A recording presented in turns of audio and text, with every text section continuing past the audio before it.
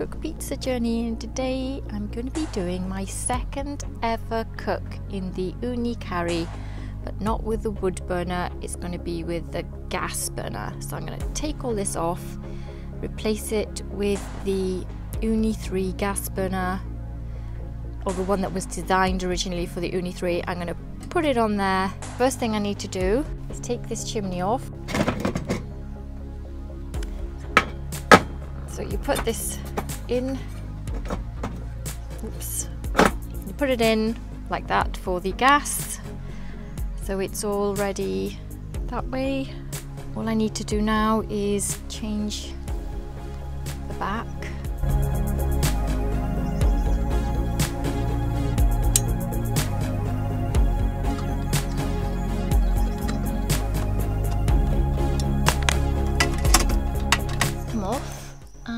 That doesn't come out that way and it doesn't come out that way either. I've got to hmm, it's gone purple. Oh pink. Pink color okay so I need to grab this out with the glove. It's still warm. And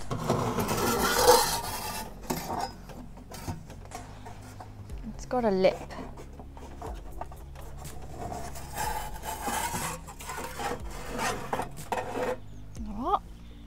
Here's my gas burner.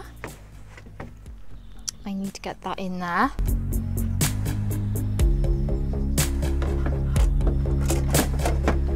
Oh, it's relatively straightforward.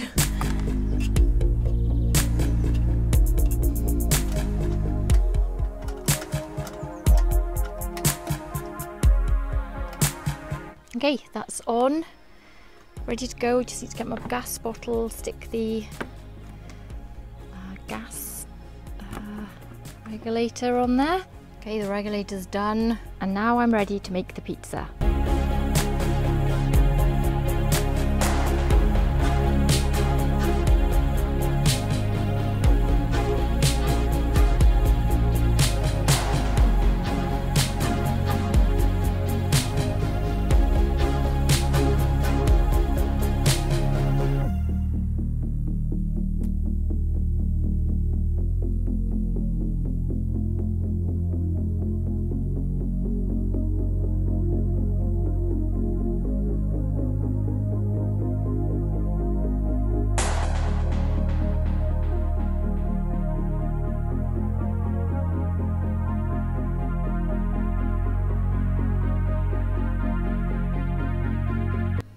So this is my second ever cook.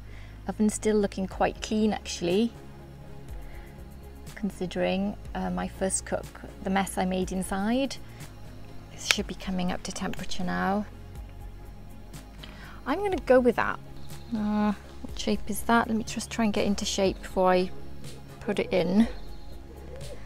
Make sure that it can slide off the peel. Right, it's it's sliding, so let's get, oh, no, I'm not. Let's turn it down.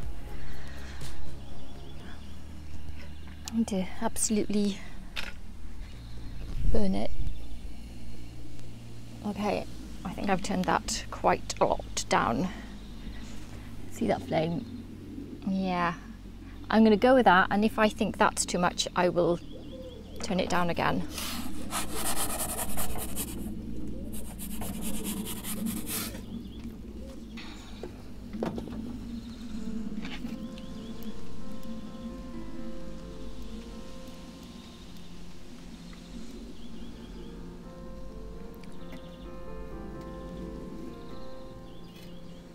I mean, that might be too low. I think it's really hard when it's your first cook to, to, to sort of find out where the flame and uh, everything should be. I think once you get used to an oven,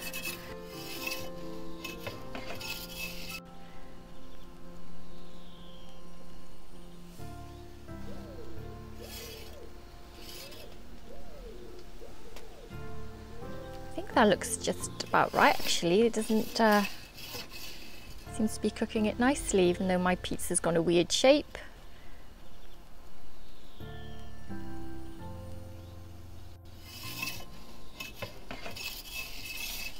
Let's see. Was it not cooking it at all?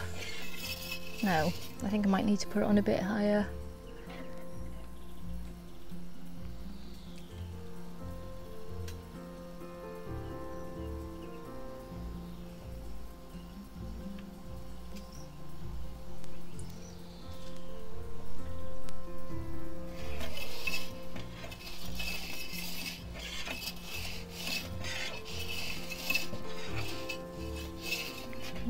Maybe just a little bit higher because I think that it's um,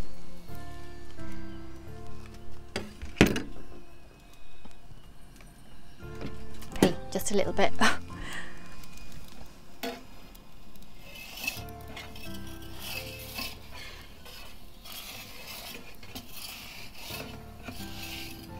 yeah, that's working.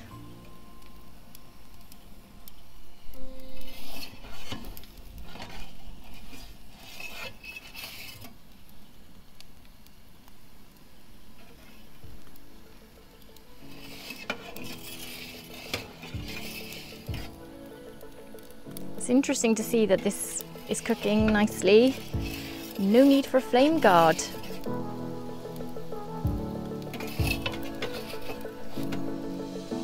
Ooh. Done.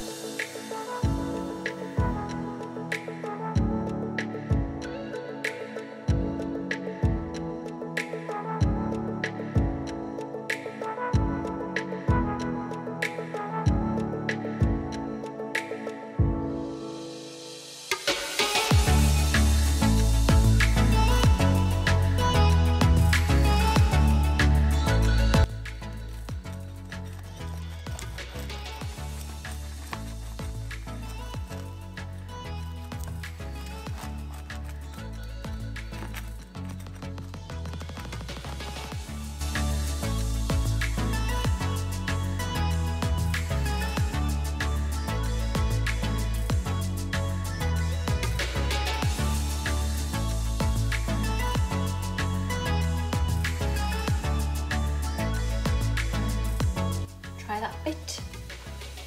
24 hour room proof dough, no fridge proof. Run out of time. Nice base. Mmm, really crispy base.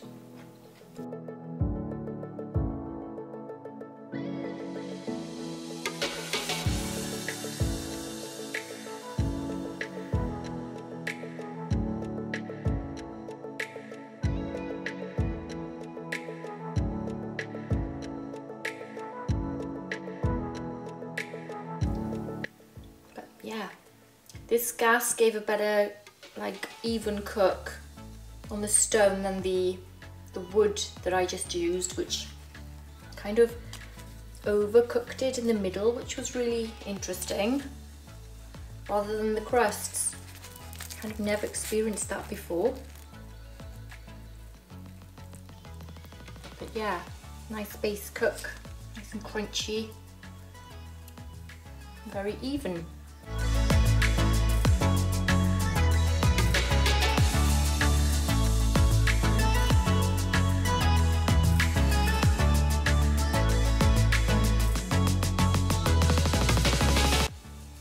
very happy with this.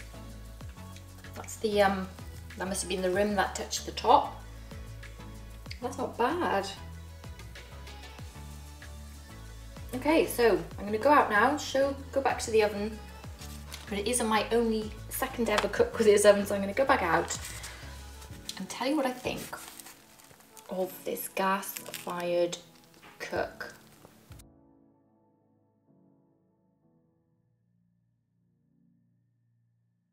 So my overall impressions are, after my first ever cook with a gas burner in the Ooni Karu and my second ever cook in the Ooni Karu, I love the fact that you can switch over to gas and switch over to charcoal or wood because you've got that portability, and carry it anywhere. I'm very, very pleased. I think that if you just buy the Koda because of the gas, this is going to be you know, the Koda and this one, because the gas cooked the pizza really well, this is a really cool oven. I'm not sure if I've ever read the leaflets before, and so maybe this is something that's on the other ovens and I haven't picked up. But I just wanted to point out one thing that I saw in the leaflet that comes with this oven. It says that the Ooni Karu has been designed to run at up to 500 degrees centigrade, 932 degrees Fahrenheit, and if your oven exceeds this temperature, simply stop adding fuel. You can also remove the hatch to lower the temperature. Now, for me, I'm going to find that really hard because I think I can easily get my oven using wood um, up to 550 degrees at the back, and so I I'm not sure how I'm, how I'm going to manage this and I just wanted to ask anybody who's got the Ooni Karu um, how they are managing to keep the oven at, to make sure that it doesn't get more than 500 degrees centigrade when they're using wood. This won't apply to the gas. I think the gas you can pretty much sure it'll stay below 500. So please let me know in the comments below if you how you manage to keep this oven at 500 degrees. That's going to be a bit of a challenge for me. So I hope you enjoyed this vid. Hope you found it useful. If you are thinking of buying a pizza oven and you were leaning towards maybe a gas one only, maybe think about a wood, charcoal and gas fueled oven because this one does all three and I love it. So keep safe everyone. Take care. Bye.